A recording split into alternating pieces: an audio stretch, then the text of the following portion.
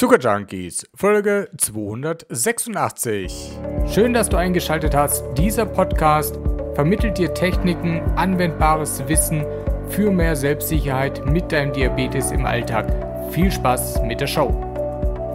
Hallöchen, meine lieben Zuckerjunkies da draußen. Ähm, heute wurde ich mal, na was heißt heute, das ist auch schon ein bisschen, ein bisschen her, vom äh, Sandy, vom Sandys Diabetes Loop wurde ich mal interviewt. Da war ich äh, geschäftlich in Nürnberg unterwegs und habe einen Podcast aufgenommen mit oder für Novartis. Verlinke ich mal in den Shownotes für die, die es interessiert.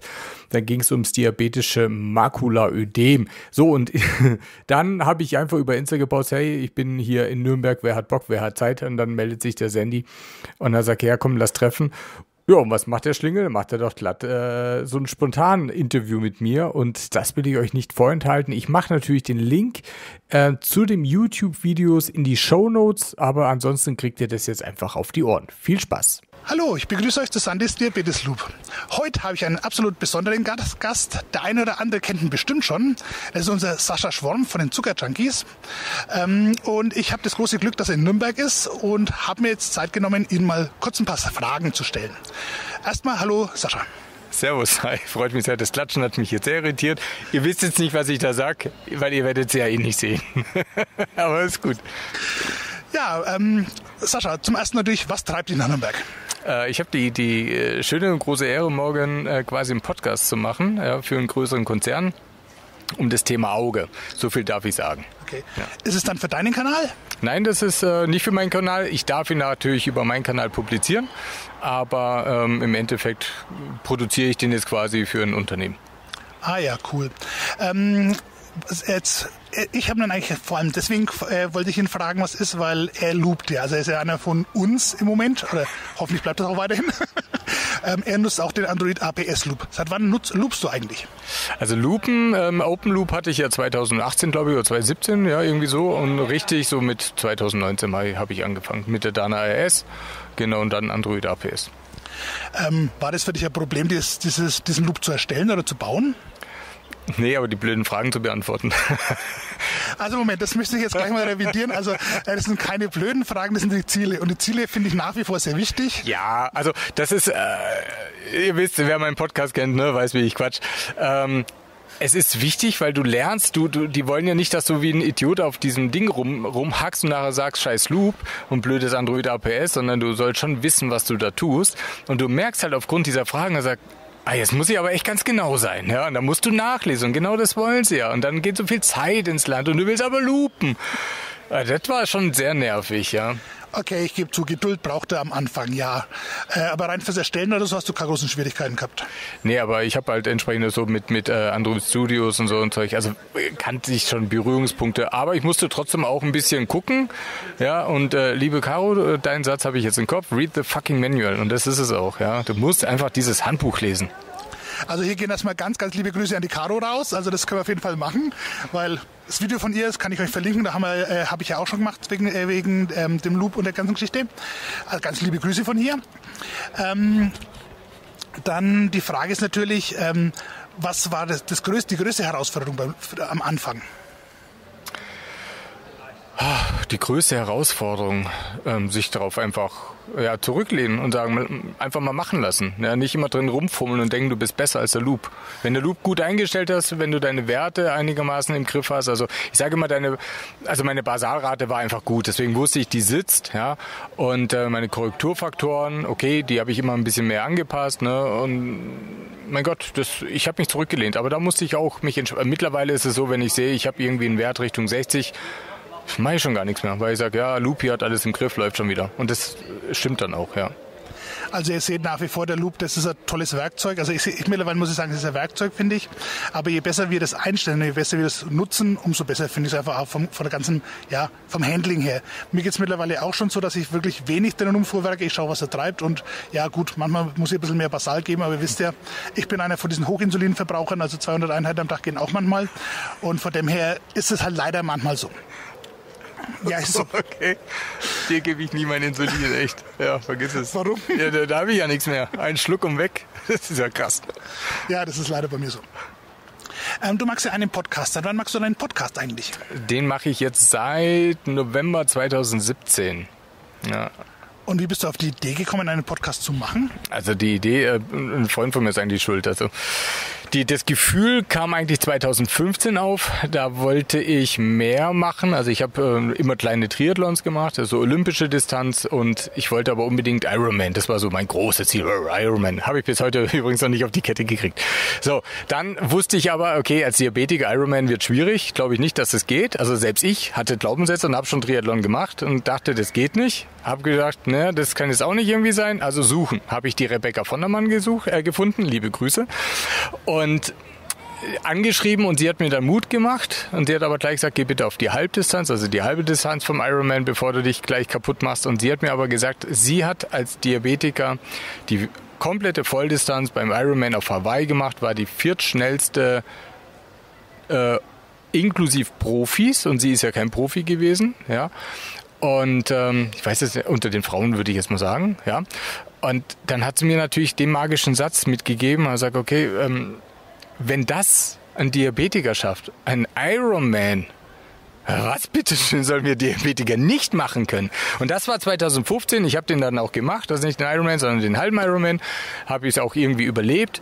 Und das ist dieses Gefühl, ging dann mit bis 2017 und dann hat mich ein Freund von der Seite angequatscht, weil ich ihn von der Seite angequatscht habe, weil er äh, ein E-Book hätte schreiben sollen über Poolwasser. Frag nicht warum. Und er hat mich dann zurückgequatscht, äh, angequatscht, ja, mach du doch was mit deinem Zuckerkram. Und so ist es dann entstanden, dass ich gesagt habe, okay, wenn ich nur einen Diabetiker in die Richtung bringe, dass der sagt, ey, pfeif drauf, ich mach das einfach. Ich lerne einfach meinen Diabetes so zu kontrollieren, dass ich diese, diesen Sport oder auf den Berg hochkrabbeln oder Apnoe tauche, was weiß ich. Und wenn ich das schaffe, nur einen, ja, dann hat der ganze Podcast sich sowieso schon gelohnt. Ja, das ist genau das Ziel meinerseits auch, dass man sagt, okay, einer, wenn es schafft, den Loop zu bauen und zu nutzen, hat man sein Ziel schon erreicht. Und ich denke, das ist echt eine ganz tolle Geschichte. Ähm, Gerade diese äh, Geschichte, dass man sagt, man schafft mit unserer Arbeit, also mit deiner und meiner Arbeit echt einfach was zu leisten. Ähm, ihr seht, also er ist der Sportlichere von uns, ich bin der Dickere, jetzt wäre dann wie dick und doof in dem Fall einfach. Ne? Nein, du Okay, komm, du bist, du lädst mich ja ein zum, dann lass ich das mal durch hier. Falls du Insulin bräuchtest, ich habe dann keins dabei. Okay, ich habe verstanden. ja, also wie gesagt, ich bin netter Sportlicher. Ich gehe natürlich auch äh, täglich meine 10.000 Schritte auf der Arbeit und so, aber weder den Ironman noch irgendwas in der Art habe ich angepeilt. Ähm, ist einfach nicht meins, bin ich ganz ehrlich. Ähm, jetzt die nächste Frage wie du äh, mit dem Lupen angefangen hast, zum, zum Lupen nochmal zurückzukommen. Ähm, welche Einstellungen haben dir eigentlich am meisten Schwierigkeiten gemacht? Alle. Nein, ich, ähm, welche Einstellungen haben mir am meisten. Welche Abkürzungen? Also mir ging es ja so, wie ich das damals angefangen habe. Ich muss erst mal lernen, was ISF. I ja, ja, ja, genau diese diese Dinge. Also die verwirren mich auch noch heute. Also ich müsste wahrscheinlich schon wieder nachlesen, aber ist halt eingestellt und das lasse ich jetzt. Aber das genau, das waren, weil ich halt natürlich in meiner äh, einfach BE-Welt war. Ja, dann Korrekturfaktor und BE-Faktor. Mehr war ja nicht. Ne? Genau. Und dann kam dann dieses Insulin-Kohlenhydrate-Verhältnis, bla bla bla. Und dann, pff, das, da musste ich echt, da musste ich richtig hirnen. Ja, okay. also das war dann schon. Aber gut, ey, es gibt Internet und read the fucking manual. Caro. Oder meine Videos mittlerweile, da habe ich schon ganz viel erklärt, also da ist auch schon ganz viel dabei. Ge genau, und, und das ist echt wichtig. Ja, genau deswegen, das ist eine Abkürzung übrigens, Videos angucken. Äh, weil ab und zu äh, liest du es und, und verreckst einfach, weil du nicht kapierst, was wollen die von dir. Und dann musst du halt auch mal andere Quellen nehmen. Und dann eben deine Videos, ja, wo man sagt, okay, dann schaue ich es mir da einfach an. Ja, bitteschön. Einfacher geht's nicht mehr. Denke ich zumindest, denke ich zumindest. Lass mal einen Kommentar, ob es einfach ist. Genau, lasst mal einen Kommentar da, ob es einfach ist oder nicht. Oder äh, wenn ihr noch irgendwas Besonderes dazu haben wollt, ihr könnt es gerne immer runter reinschreiben. Ich versuche jedes, jedes, Thema aufzugreifen, was um im Bereich Loop geht oder auch andere Sachen. Ihr seht ja, heute ist mal wieder ein tolles Interview. Und ähm, deswegen macht es auf jeden Fall. Welch, wie viele CGMs hast du eigentlich schon ausprobiert oder welche CGMs hast du schon alles ausprobieren dürfen in der Zeit? Dürfen ist ja nett. Also an meinen Körper lasse ich nicht so wirklich viel ran. Ähm, ich habe den Libre 1 war mein erstes und dann bin ich schon auf den Dexcom G6 gewechselt, ja. Okay. Genau. Und Libre 1 war auch noch abenteuerlich, weil ich habe dem Ding ja von Anfang an nicht vertraut, weil ich war ja ein Blutigmesser, ja, ähm, Blutigmesser, ne? das klingt ja auch so. Oh. Und, äh, und ähm, ich habe immer beides gemacht, weißt, ich habe trainiert und habe immer blutig gemessen und immer gesagt, das stimmt ja nicht, was was das FGM da hier bringt von von Libre, das ist ungenau und bin äh, einfach total dumm. Und dann saß ich bei mir an Diabetologen, ich bin echt so froh. Ja, die Grüße an mein ganzes Team, ihr seid echt die geilsten. Ähm, weißt du, der hat gesagt, äh, du musst dich mal entscheiden. Blutig oder Gewebe. Aber das geht nicht beides. Und dann habe ich gesagt, ja, ist doch scheiße. Und dann hat er mich gecached, wie man es halt macht. Er sagt, pass mal auf, es gibt Profisportler, die machen alles nur mit dem Sensor. Und danach hat er mich gecasht. Und habe gesagt, alles klar, kapiert. Und danach habe ich nie wieder blutig gegengemessen. Außer ich hatte irgendwie einen komischen Wert, ja, wo ich sagte, da, da sagt mein Körper was anderes. Aber das war mein erstes Aha-Erlebnis mit dem Libre-Sensor, dass ich einfach gedacht habe, der spinnt. Ja, aber dabei war ich einfach nur doof. Okay, nein, das ist ja nett. Also auch wenn ich es vorhin gesagt habe, ist er definitiv nicht nein. Möchte ich hier definitiv revidieren. das ähm, schneidest du wahrscheinlich raus, ne? Nö, das lasse ich drin. Das lasse ich drin. 100% ich stehe dazu. Du bist ja ursprünglich auch von den Pens gekommen, vermute ich mal, oder hast du sogar noch mit der Spritze aufgezogen wie ich? Nee. Also, also äh, riesen Respekt davor. Also ich muss sagen, bin froh, dass ich gleich bei den Pennern war. Ähm, aber ich höre das immer wieder und ich muss echt sagen, also uns geht es ja eh in Deutschland sowieso mega geil. Also wir haben echt den Finger im goldenen Loch, aber ganz tief drin. Und ich fand die Pants schon cool. Und dann höre ich eben die Stories immer so irgendwas auskochen. Da, da denke ich so, boah, bin ich rechtzeitig Diabetiker geworden noch, ne? Oder nee, eigentlich was heißt glücklicherweise später, keine Ahnung. Aber da muss ich sagen, ja, zum richtigen Zeitpunkt. Guck, da kommt er wieder. Ja, ich, ich bin ja auch der Doof. ja, also ich habe mit Pen angefangen und muss ich auch sagen, ähm, war sehr gut eingestellt mit Pens. Also ich war definitiv, also ich war, also war immer gut eingestellt. Also ich war nie schlecht eingestellt. Muss auch sagen, eben geiles Team. Ich glaube, das macht viel aus. Und ähm, hat lange gebraucht, bis ich dann äh, mich für eine Pumpe entschieden habe. Die haben echt fighten müssen, dass ich überhaupt Bock hatte auf eine Pumpe, ja. Okay, also bei mir war es auch so, ich habe ein bisschen braucht, bis ich mich für die Pumpe entschieden habe. Wann hast du dich dann für die Pumpe entschieden? 2010 war es soweit, ja, nachdem dann bei der Akku-Check Combo, oder das war die Akku-Check Combo mit diesem Bedienteil. Und das Bedienteil war für mich wichtig, weil ich wollte die Pumpe nicht aus, dem, aus der Hosentasche rausholen. Also, was bin ich denn? So mitten im Meeting so eine, nee, und dann habe ich gesagt, geh weg. Ja, das finde ich scheiße. Und dann kam die dann und sagt, guck mal, Bluetooth. Und dann habe ich gesagt, gib her, nehme ich. Ja. Okay, okay. Ja. also bei mir war es auch die Combo, damals noch die Spirit als Vorgänger und danach ist die Combo. Ähm, bin, muss, muss aber was sagen, sind noch eine tolle Pumpe. Ich trage sie heute noch. bin leicht neidisch. Ja, doch, also das ist ein tolles Gerät, kann man nichts sagen. Ähm, und bis dann, wann, äh, nachdem du dann ins Lupen eingestiegen bist, da hast du dann, bist du bei der Combo geblieben oder hast du noch andere zwischendurch gehabt? Ja, die Combo habe ich deswegen verlassen. Okay, schade. Es lag, lag da, und jetzt muss ich sagen, es lag daran, ich hatte so keinen Bock, irgendwie rumzubauen und zu machen. Und ich habe halt gesehen, äh, mit der Dana RS und ein Dexcom, Thema erledigt, habe mir ein neues Handy gekauft deswegen. Ja, also ich habe wirklich Reset, weil ich gesagt habe, nee, ich will das nicht okay, welchen Preis muss ich dafür bezahlen? Meine Pumpe war sowieso gerade kaputt. Und dann habe ich gesagt, also, dann steige ich um. Ja, das war also perfektes Timing. Pumpe verreckt, dann die Dana RS, Dexcom G6, rein in den Loop. Ja, das war auch sofort genau das Ding. Ja, die haben dann gesagt, ja, warten Sie. Und gesagt, nein, ich gehe gleich in den Loop. also ihr seht, also ähm, es gibt immer andere Wege, die zum Loop führen. Ähm, aber es ist auf jeden Fall nach wie vor für alle ein toller Weg und ich finde es klasse, dass wir das nach wie vor haben. Es kommen ja jetzt so nach und nach die kommerziellen Systeme, die man natürlich nicht schlecht reden dürfen, will ich auch gar nicht, um Gottes Willen.